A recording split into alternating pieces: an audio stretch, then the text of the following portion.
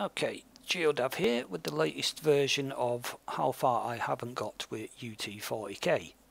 Now as you can see, it, when you start the game up, well this is a pre-build version that I'm using, but it should look the same, if not I will do a instructional video on how to get it started and install it, so don't worry about that.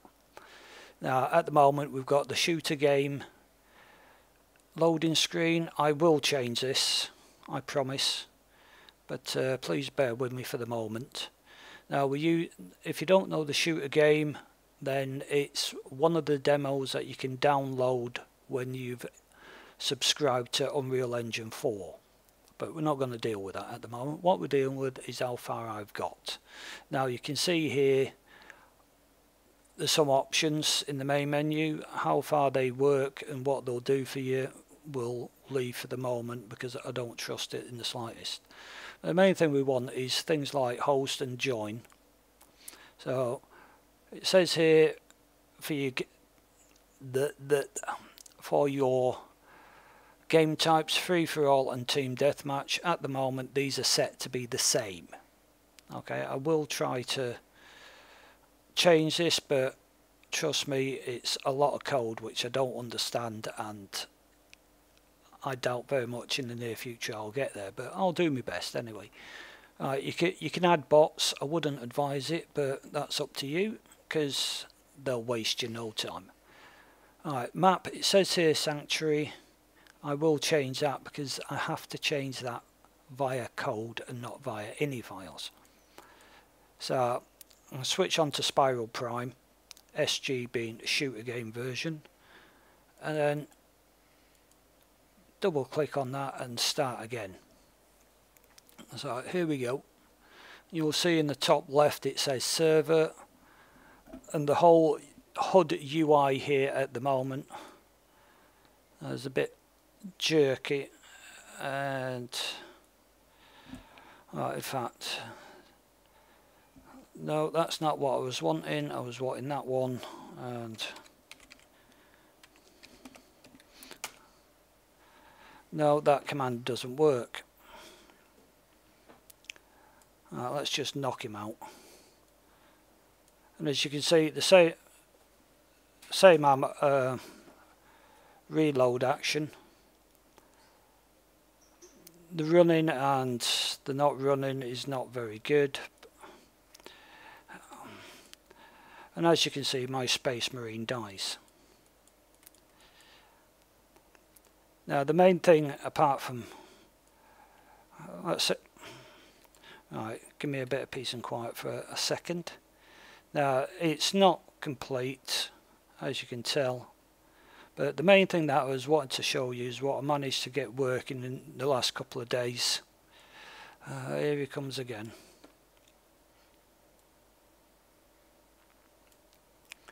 Is the simple fact if I press M at the moment I get this menu.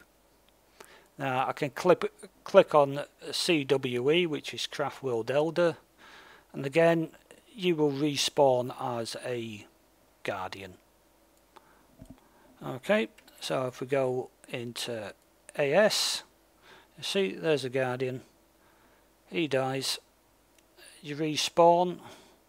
And guess who you are this time? AS being Adeptus Solaritus which for some reason just disappeared. And oh, Imperial Guard I haven't got his arms done yet. Okay. And see there's the Imperial Guard. And just get the Chaos Marine up. Yep there we go. So it's jerky because I'm recording. It does run a little better than this but and yes. And trust me at the moment the weapons don't have any animations. They are all exactly the same. So all the effects the damage rates fire rates are all the same at the moment. Uh, basically I've been holding back on doing a lot of this work for a simple reason. I couldn't find a way to select Now how on earth did he just walk through, go through there?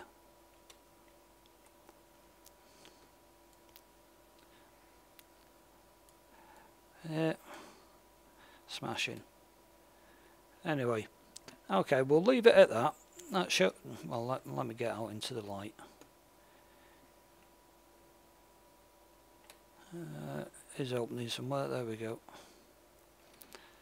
So that's it for the moment. I will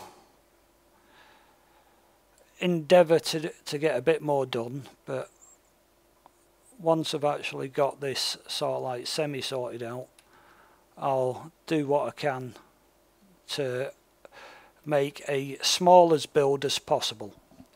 Okay, so, oh by the way, if you press escape, you get the, the normal shooter game options.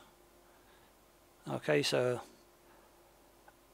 I've actually made it so I initially made the selection menu up and forgot to uh, extend it from this HUD menu so I had to redo it all which is very time consuming. Okay I'll leave it at that and I'll see you in the near future hopefully with something for you to download.